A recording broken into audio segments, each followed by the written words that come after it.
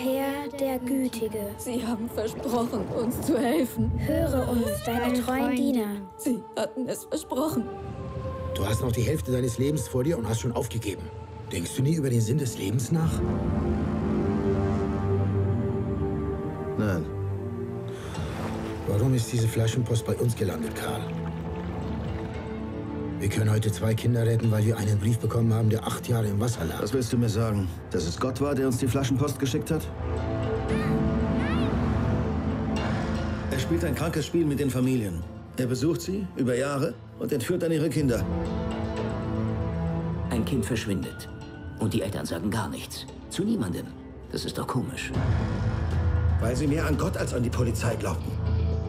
Können Sie damit leben, dass Sie nichts dafür getan haben, das Leben Ihrer Kinder zu retten? Was mischen Sie sich ein? Er ist kein Kidnapper. Er ist ein Serienmörder. Uns. Jehova wird uns retten. Ich glaube nicht an Gott. Ich glaube an gar nichts. Es kann sein, dass wir die Kinder und Karl nicht lebendig finden. Karl!